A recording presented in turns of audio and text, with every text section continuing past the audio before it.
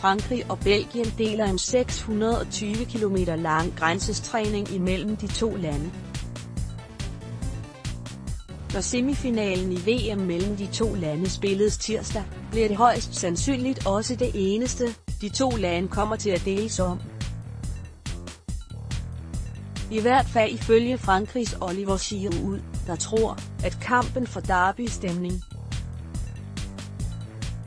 Læs også, video der er kun europæiske hold tilbage ved VM, der er en stor rivalisering mellem Frankrig og Belgien, så det er en form for derby.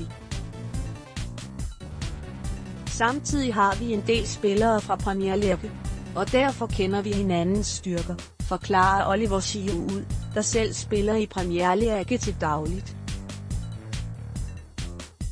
Fransk vennekåbe giver krydderiet stemningen for også en særlig påvirkning af, at en af de største franske landsholdslegender fra nyere tid, Thierry Henry, er ansat som træner på det belgiske hold.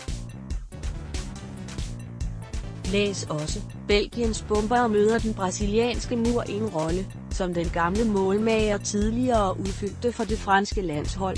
Vi har en stor respekt for hinanden. Jeg er ikke bitter over det. Mit job er at gøre det godt ude på banen. Men når det er sagt, vil jeg da elske at vise Titi, Terje Henry, at han har satset på den forkerte hest, forklarer ud.